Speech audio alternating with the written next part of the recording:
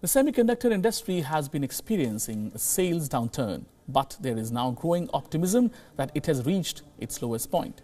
One reason for this is surge in artificial intelligence technology, which is expected to boost sales in the coming years of tech devices.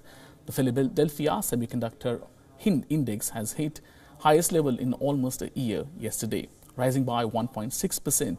It is added to a gain of over 3% the previous day.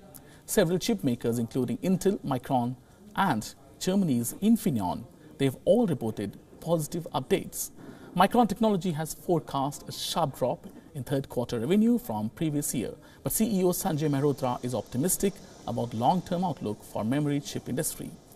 Mehrotra believes that AI will help boost sales, leading to a record market size in 2025. Meanwhile, Infineon has also boosted its outlook for both second quarter and full year, citing resilience in auto and industrial divisions.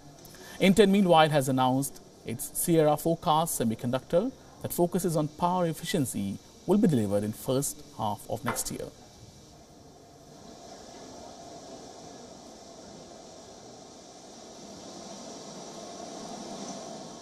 WION now available in your country. Download the app and get all the news on the move.